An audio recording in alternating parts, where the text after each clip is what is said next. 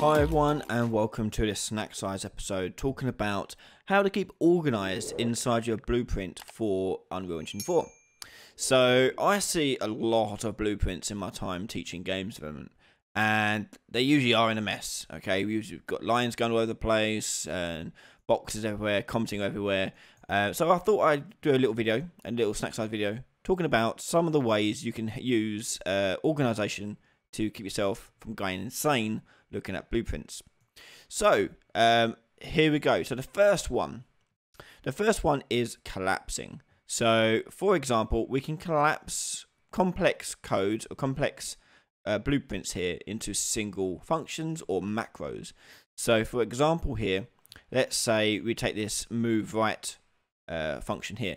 Now, obviously this isn't very, isn't very complicated or very big, but just for the sake of this video, imagine it is. So what I can do here is I can select all these items here and right click and create a collapse to function. And now it's made a new function in my functions list and this can be called something like moving right. Yeah. And there you go. So if I open this up, you can see that exact same code is here. It's just attached to our uh, function instead. Now you can see it automatically added our scale value as a parameter. That's because when we did it, if I can undo, you can see the axis value is gone into scale value there and it's built that parameter from that. Okay, so that's one way you can do that. The second method is collapse to macro. So a macro is a bundle of nodes that uh, you find yourself repeating yourself with. You can save yourself repeating them by storing them as a macro, as a sort of a shortcut. And you've seen a macro no doubt before. Uh, for example, a for each loop is a macro. And if you double click on it, you can see the contents of that macro.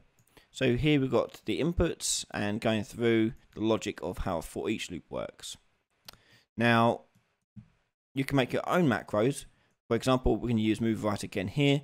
But uh, as, as I said, this is quite a basic example. This could be used for more complicated stuff. But if we right click, we can do collapse to macro. And you can see it appear in your macro list in the left here. And this is different from a function in the sense that it doesn't execute like a function. It executes like it's a, a continuation of that line of code. Okay, so you can open it up and see your contents. Right, so there's a third collapse, and a third collapse is collapse to nodes. So if you select these nodes here, or select this whole move right here, I can right click on this and go collapse nodes. And I can name this one move right. And this is a collapsed graph. So it's a graph within a graph. So if I open this up, you can see this graph here. Next, we have commenting. So commenting are these boxes that you see in a lot of the project defaults. And to do it, you select all the nodes you want to be included in the comment and hit C on your keyboard. And that'll put a comment box around the whole entire thing. And it's usually ideal, ideal to type in what this uh, box is containing. So here I can put in movement. And the benefit of a, a uh, comment box is that if you move the box, it moves with it. And we can customize some things over here on the right hand side, such as uh, the text itself, the font size, the color. So you can change the color of the box if you want. And uh, also change the color of the bubble that you see here. And you can color it to match what you got on your on there. And also change the move mode. So this is group movement. So this moves everything inside of itself. You want to just move the comment. You can move the comment and so forth. And that could be quite useful if you are, say, working in a team and you want to um, indicate to someone to change something. So if you're leaving notes over over people, I could make a comment box and put this around here and say, "A uh, Jim, fix this." Okay, and I've now noted his work and said, "Hey, I need you to fix this bit here." Okay, for example. Next, we've got comment bubbles. So alongside grouping these comments together, you can also put a comment on each node. So if you're not too sure what a node is doing or you want to communicate to someone what a node is meant to be doing, if you hover over a node, you'll see these little three dots appear. Click on that and they can type in a little comment. This will get the actors right vector. And now you've got a little note there for anyone else that wants to read it. Or yourself even, if you want to remind yourself in the future what you did and why you need to do it. Again, this could be useful for um, commenting and noting uh, what work needs to be improved, changed, or tweaked for later release in your team. Next, we have uh, graphs.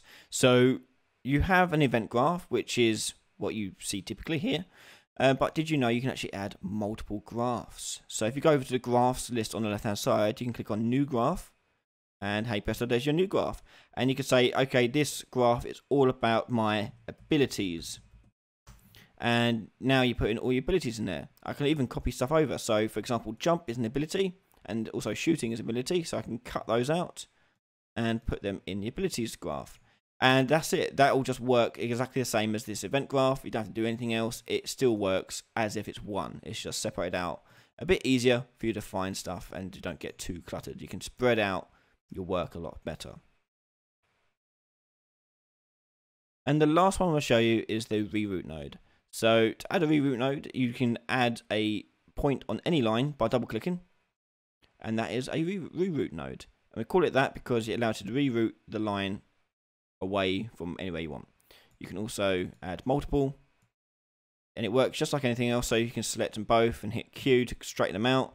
You can also have multiple lines coming out of one reroute node, depending on what it is really, but multiple lines typically coming out of one reroute node and you can alt click to disconnect them as well.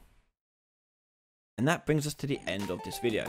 Thank you very much for watching and I hope that you've learned a little bit more about organising yourself in Unreal and saw some ideas of how to get yourself organised and a lot cleaner to find your work easier uh, when making your games. So thank you very much for watching. If you haven't yet subscribed to the channel, make sure you hit that subscribe button.